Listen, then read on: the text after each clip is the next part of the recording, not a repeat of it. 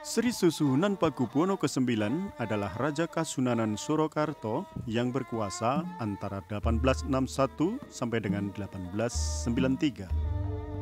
Di masa pemerintahannya, Sunan dipuji sebagai raja bijaksana dan dikenal aktif menulis karya sastra yang syarat akan nasihat.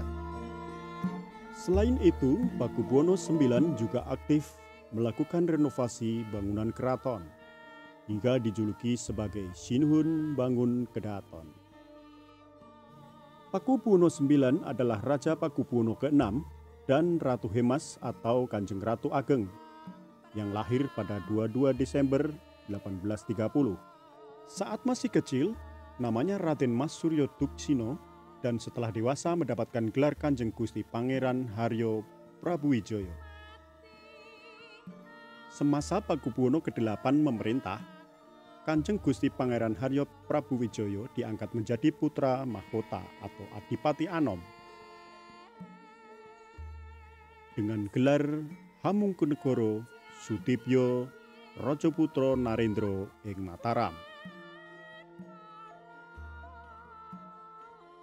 Kanjeng Gusti Pangeran Haryo Prabu Wijoyo kemudian naik tahta pada tanggal 30 Desember 1861 dan gelarnya adalah Sri Susuhunan Pakubuwono ke-9.